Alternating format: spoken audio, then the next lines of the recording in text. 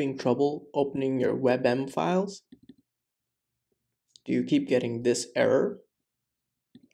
Don't worry, WALTR PRO to the rescue. This awesome app is super simple to use. All you have to do is drag your files into it. This app will convert this format into something you can use. Here we see the WebM is now an MP4 file. Placed just like you expect it to. What's more awesome is you can drop it directly into your iPhone or your iPad or other Apple devices, all over Wi-Fi.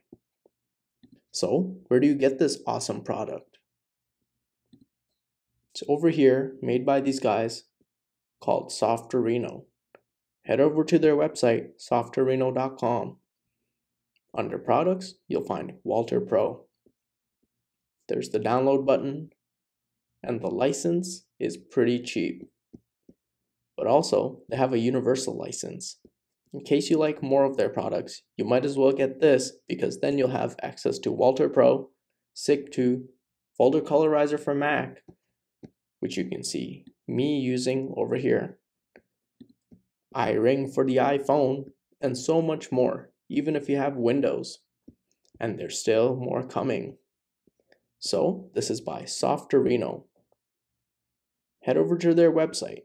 And of course, you should stop by this. We all need to help stop the war in Ukraine. Press learn how. Thanks for watching.